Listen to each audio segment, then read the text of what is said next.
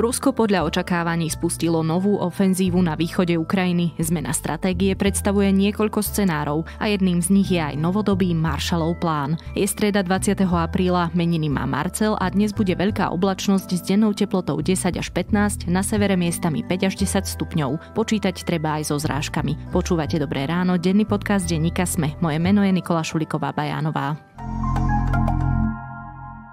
Dnešné správy ovplyvniť nemôžete ale vaše investície áno. Investujte do podielového fondu JNT Select s atraktívnym výnosom. A každé vaše ďalšie ráno bude dobré ráno. JNT Banka. Expert na investície. S investíciou do fondov je spojené aj riziko. Programátorky a programátori. Váš kód môže zlepšiť svet. Slovenská firma Innovatrix patrí medzi svetovú špičku v biometrii. Vyvíjame technológie pre overenie otlačku prsta, skenovanie dúhovky oka či rozpoznávanie tváre. Tak zaistujeme bezpečný vstup bez kariet či hesiel, pomáhame zrýchliť policajné vyšetrovanie či zvýšiť bezpečnosť na letiskách. Tvor svet, v ktorom si budeme navzájom dôverovať. Choď na innovatrix.com a zistíš o kariére u nás viac.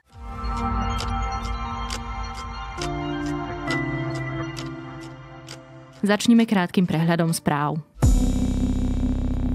Šéf ľudovej strany Naše Slovensko Marian Kotleba prišiel o mandát poslanca a tým zanikol aj poslanecký klub LSNS. V útorok o tom informoval podpredseda Národnej rady Gábor Grendel. Ten podpísal rozhodnutie v zastúpení predsedu Národnej rady Borisa Kolára. Náhradnička za Kotlebu Slaviena Vorobelová si mandát bude uplatňovať, no nie je ešte isté, či tak spraví v klube LSNS.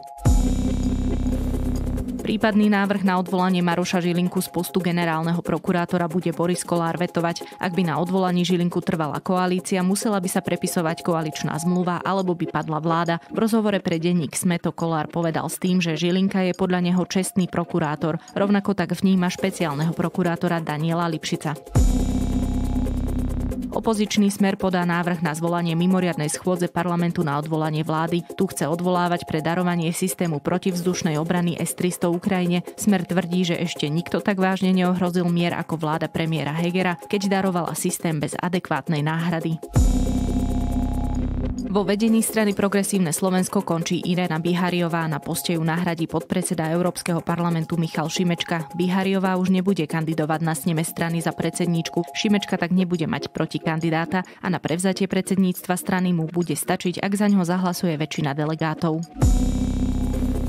Zasadnutie parlamentného výboru pre ľudské práva, na ktorom mali poslanci vypočuť veľvyslanca Ruskej federácie Igora Bratčikova o okolnostiach vraždenia civilného obyvateľstva na Ukrajine, sa neuskutoční. Bratčikov doručil výboru niekoľko stranové stanovisko, no účasť na rokovaní odmietol a na doplňujúce otázky poslancov sa rozhodol neodpovedať. Viac takýchto správ nájdete na sme.sk.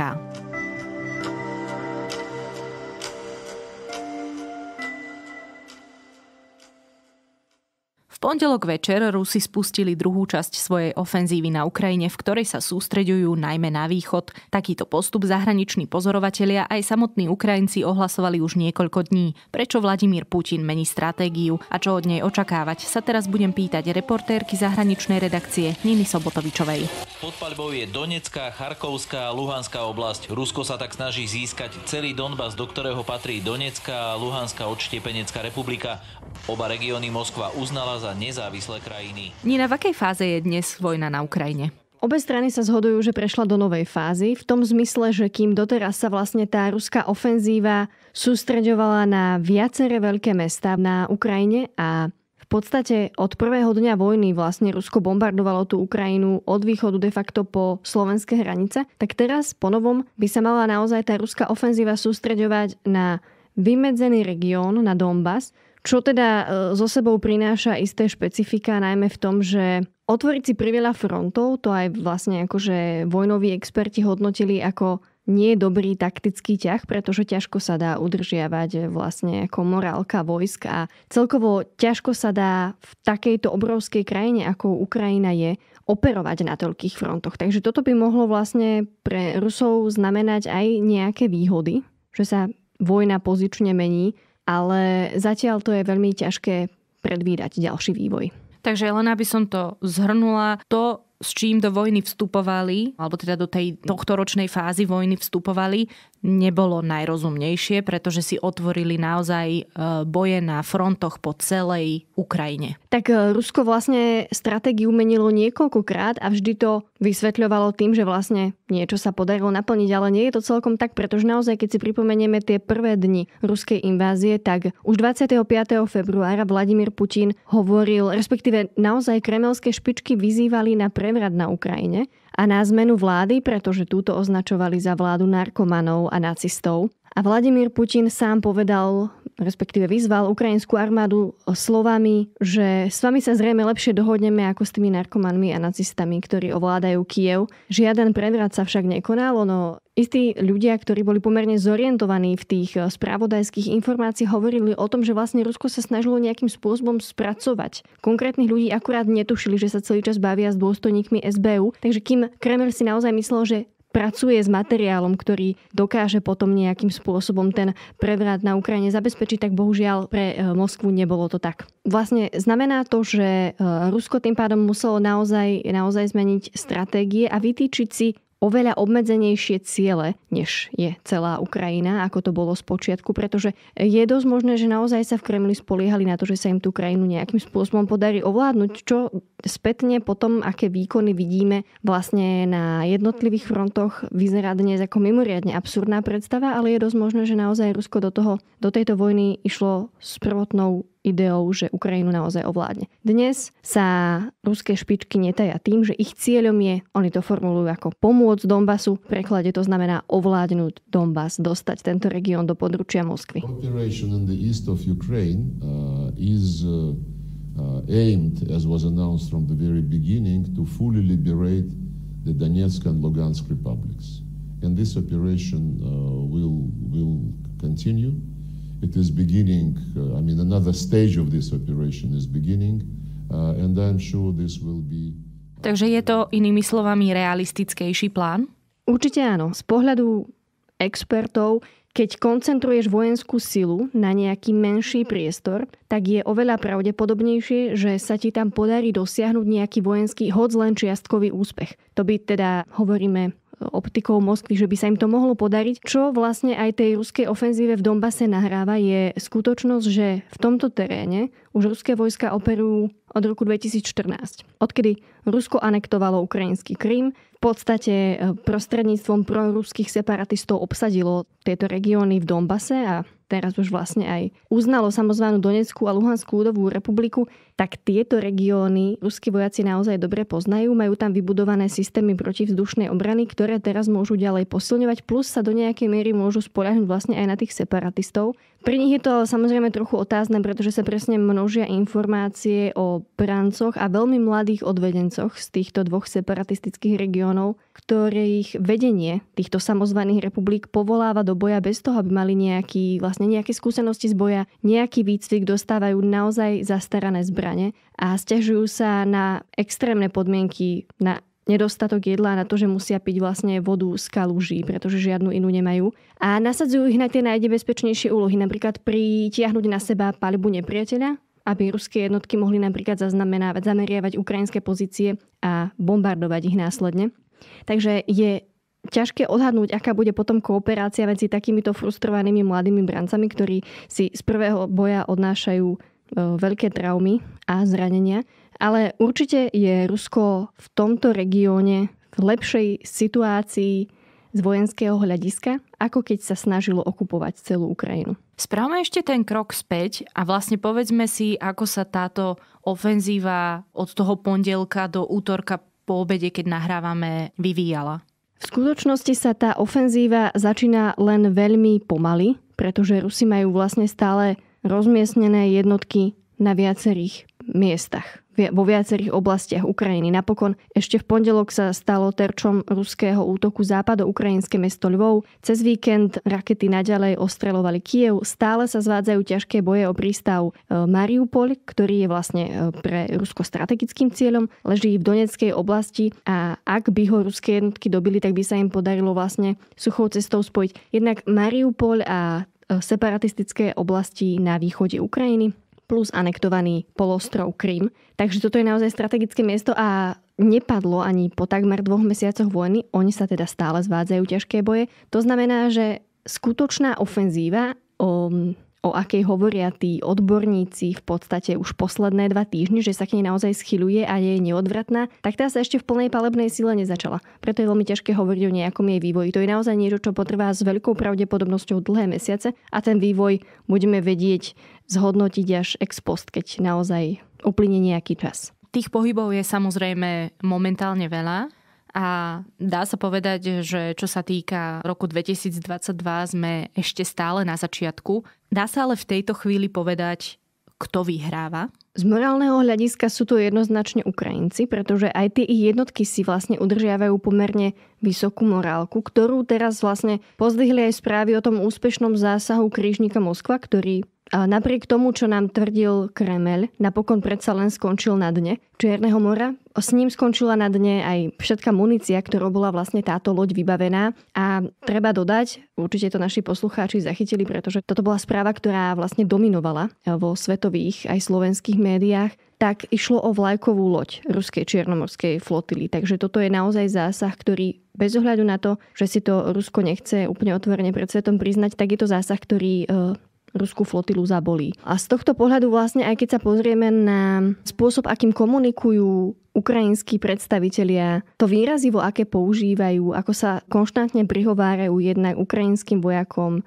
ukrajinskému obyvateľstvu, že armáda je silná, spolahlivá, treba jej veriť, netreba sa báť, že na všetko sú vlastne Ukrajinci pripravení. A napokon e, v tom Dombase majú, ako hovorí prezident Zelenský, približne 44 tisíc bojovníkov, ktorí nielen podľa teda Zelenského, ale aj podľa viacerých generálov a vojenských dôstojníkov v našom stredoeurópskom priestore patria k tomu najlepšiemu, čím Ukrajina disponuje v teréne. To sú ľudia, ktorí v tom Dombase bojujú proti proruským separatistom aj proti ruským jednotkám od roku 2014. Takže majú naozaj významnú skúsenosť z ostrého boja. Kým Rusko naďalej hovorí o oslobodzovaní východu Ukrajiny, Kiev tvrdí, že okupantské vojska nie sú dostatočne silné na to, aby zvíťazili. Voči nepriateľovi sa bráni. V Doneckej a Luhanskej oblasti ukrajinskí obrancovia odrazili 7 útokov, zničili 10 tankov, 18 obrnených vozidiel, jeden delostrelecký systém a nepriateľský mínomet s vojakmi. A ešte možno nejakým ďalším číslam padla teda vlajková loď. Počuli sme aj o tom, že ruská armáda prišla o 8 vedúcich generálov. Vieme vôbec povedať, že ako to vyzerá na čísla, keďže Rusi nezverejňujú úplne všetky oficiálne údaje? Nezverejňujú, ale vlastne my to nevieme ani úplne porovnávať s ukrajinskými stratami dátami, pretože toto je, akože tá mach- tie číselné machinácie sú súčasťou vojnovej propagandy na oboch stranách vždy. Ale čo vieme aspoň približnou istotou povedať je, že Rusko nasadilo na Ukrajine približne 120 práporov a z nich vlastne nie je aktuálne funkčných už takmer štvrtina pre tie straty, ktoré ruská strana v bojoch utrpela. Čo sú pomerne e, významné škody na... Rovnako sa nebavíme iba o škodách vlastne na ľudskej sile, ale aj na vojenskej technike. Takže tam je naozaj dôvod preto, aby e, bola ruská armáda demoralizovaná. Dokonca podľa viacerých odborníkov a podľa Inštitútu pre výskum vojny, čo je taký think tank, Rusko nevyužilo dostatočne čas na to preskupenie jednotiek na východ Ukrajiny a na nejakú reorganizáciu týchto síl a, a ich posilnenie. Že vlastne ako sa hovorilo o tom, že Rusko bude nejakým spôsobom preskupovať, bude e, tieto prápory doplňať, nie je úplne pravdepodobné, že sa to podarilo. Môže to byť napríklad aj tým, čo sme pozorovali e, v prípade toho niekoľko kilometrov dlhého konvoja, čo bola, no naozaj v prípade vojny sa to tak asi nepatrí povedať, ale taká až tragikomédia, keď sme videli, s akými problémami sa potýkali ruskí vojaci práve v tomto konvoji? Najväčším ruským problémom v tejto vojne je logistika a uviaznuté zásobovanie. Tak ako sme to videli na severe Ukrajiny pri Kieve, kde išlo jednoznačne o taktické zlyhanie velenia, pokiaľ sa takýto takáto masa vojenskej techniky presúva iba po jedinej osi, kde naozaj riskuje, že jediné vozidlo, ktoré proste akákoľvek prekážka v ceste vyradí z prevádzky, tak tým pádom odpíšeš, odpáliš proste všetky tie vozidlá, ktoré sú za ním a stanú sa aj veľmi ľahkým terčom potom pre obrancov. Áno, je možné, že proste Rusko naďalej takticky zlyháva a že e, viazne toto zásobovanie. Zase ale na druhej strane treba povedať, že Donbass je región, ktorý susedí s Ruskom a minimálne z tohto hľadiska to budú mať Rusi v tom zásobovaní ľahšie a tie zásobovacie trasy budú kratšie. Ale to, či dokázali efektívne naozaj preskupiť tie jednotky, to, to je otázne. To sa prejaví až, až opäť potom v konflikte, keď sa naplno rozhorí v Donbase. Ešte jednu vec, Minina, prosím ťa vysvetli. Ako je možné, že Rusko ešte stále dokáže financovať túto vojnu? Tak ako to povedal šéf e, európskej diplomácie Josep Borrell, každý deň Rusku zaplatíme za jeho energie len my ako členské štáty Európskej únie miliardu. Týmito peniazmi aj my pomáhame financovať ruskú agresiu na Ukrajine a tie platby, ktoré odchádzajú z Európskej únie do ruskej štátnej kasy za energie sú výrazne vyššie ako naša podpora Ukrajiny. A problém je, že viaceré štáty, viaceré členské štáty Európskej únie sú od ruských, minimálne od ruského plynu do veľkej miery závislé a k ním patrí aj Slovensko alebo napríklad Česko. Takže odstrihnúť sa od neho zo dňa na deň vyslovene nie je možné, ale aktuálne je už na spadnutie minimálne ropné embargo, Ehm, informovali o tom české hospodárske noviny, ktoré, ktorým vlastne traja vysoko postavení predstavitelia jednotlivých členských krajín potvrdili, že toto embargo je skutočne na stole. Členské štáty by ho mali v nasledujúcich dňoch schváliť.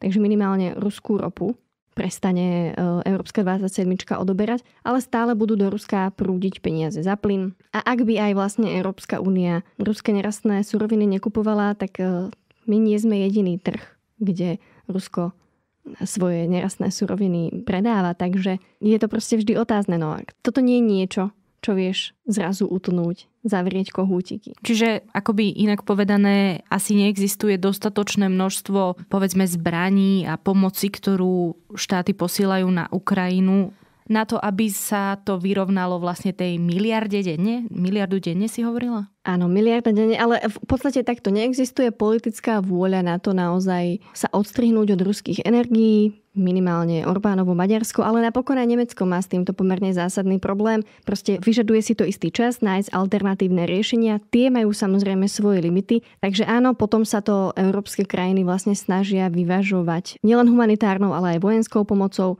a je otázne, čo na konci vojny z týchto súčtov vyjde. Keď sa vrátime na východ Ukrajiny, spomenula si, že minimálne v Dombase sú Rusi tak lepšie zapustení vojensky. Hej? Sú tam teda od roku 2014. Majú tam lepšie vybudované zázemie. Presne tak. Dá sa tým pádom možno predpokladať, že sa im tam bude dariť lepšie, ale nie je to garantované, pretože tým pádom vieme asi povedať aj to, že ukrajinské jednotky sa už nemusia sústrediť na tak veľké územie, ale sa tiež vedia sústrediť viac na východ Ukrajiny. Aspoň takto mi to laicky z toho vychádza. Nie je to úplne tak, pretože Ukrajina si teraz e, nemôže dovoliť stratiť ostražitosť na doterajších frontoch. Napríklad nemôžu si dovoliť prestať brániť Kiev a stiahnuť tieto jednotky na východ, pretože Rusi zanechali pri tom ústupe nejaké kontingenty, ktoré sa môžu opätovne pokúsiť to mesto nie možno vyslovene dobiť, ale určite e, dôjde k ďalším náletom, k ďalšiemu bombardovaniu. Napokon videli sme to cez víkend. Tak toto nefunguje, že vlastne ruské jednotky sa stiahnu a tieto mesta majú na dobro pokoj. To by bola veľká chyba a takej sa určite Ukrajinci neplánujú dopustiť. Takže nemôžeme vyslovene hovoriť o tom, že všetku pozornosť budú môcť teraz Ukrajinci sústrediť na východ Ukrajiny. No ale to, čo tým chcem povedať, je to, že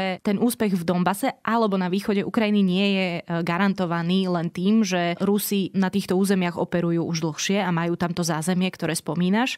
Čo môžeme očakávať v prípade, že ani táto stratégia Rusku nevíde? Ak by sa Rusku v konvenčnom boji v tomto regióne nedarilo, tak potom naozaj vyvstáva tá otázka, ktorú si kladú viacerí odborníci a dôstojníci v radoch tajných služieb, západných tajných služieb, do akej miery môže byť Vladimír Putin zahnaný do kúta, kým sa rozhodne použiť naozaj zbranie hromadného ničenia. To sa bavíme buď o jadrových hlaviciach, chemických alebo biologických zbraniach. Nemusia to byť naozaj biologické zbranie v tej podobe akože smrtiace vírusy, nemusia to byť chemické zbranie typu sarín, ale môžu to byť zbranie, ktoré mimoriadným spôsobom znepríjemnia ten konvenčný boj, respektíve vyradia naozaj tých e, vojakov z boja pretože budú mať nejaké vážne nepríjemnosti, ťažkosti s dýchaním. Príznaky, aké napríklad teda opisovali bojovníci pluku Azov, ktorí bránia Mariupol, pri tom údajnom chemickom útoku to sa ešte stále nepodarilo potvrdiť, ale teda vlastne separatistické jednotky volali potom, aby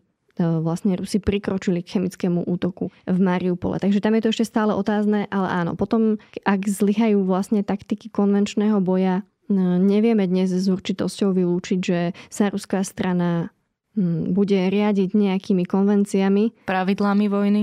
Ale môže skutočne dôjsť aj k použitiu zakázaných zbraní. Napokon Rusko už e, kontroverznú, a to je veľmi vlastne mierny výraz, muníciu použilo na Ukrajine už opakovane a tieto prípady sú zdokumentované. V, išlo o kazetovú muníciu.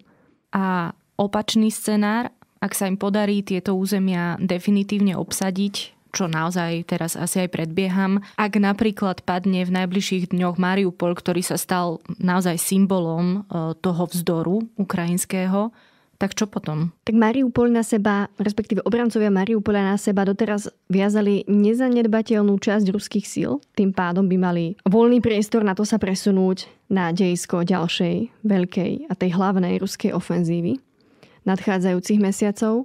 To by bola zásadná zmena. Taktiež treba povedať, že ak by sa aj Rusom podarilo dobiť Donbass, respektíve minimálne tie oblasti, ktoré teraz, tie samozvané republiky a definitívne ich dostať nejakým spôsobom pod kontrolu a do područia, tak potom je na mieste možno nejaký Marshallov plán 2.0, pretože Ukrajina by sa musela jednoznačne oddeliť od týchto území, vyrástla by možno nejaká nová železná opona a bolo by vtedy úlohou Západu podporovať tú časť Ukrajiny, ktorá má záujem integrovať sa do európskych štruktúr, pomôcť jej finančne, pomôcť jej pozviechať sa, pretože 20 alebo 30% všetkej dopravnej infraštruktúry od začiatku vojny bolo zničených, takže tá krajina bude potrebovať naozaj veľkú pomoc. A v tom prípade by možno nastala identická situácia, akej boli svetkami naši rodičia po teda rozdelení Nemecka na západné a východné. A napokon všetci vieme,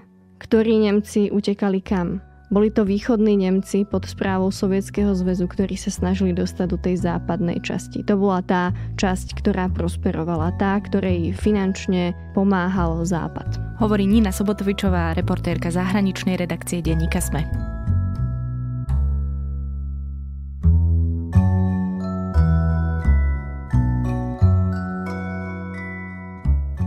Budem sa síce opakovať, ale znovu budem odporúčať podcast z dielne New York Times. Ezra Klein sa vo svojej show pozrel na kryptomeny, tentokrát s ich veľkým kritikom Denom Olsonom. Ten v ich posudzovaní podľa mňa odvádza naozaj veľmi poctivú prácu. Ich zaujímavá takmer hodinu a pol dlhá debata stojí určite za vypočutie. No a pripomínam aj naše ostatné podcasty. Dnes vychádzajú Zoom aj vedátorský podcast o fyzike teleportu. Na dnes je to všetko, počúvali ste Dobré ráno. Do počutia opäť zajtra.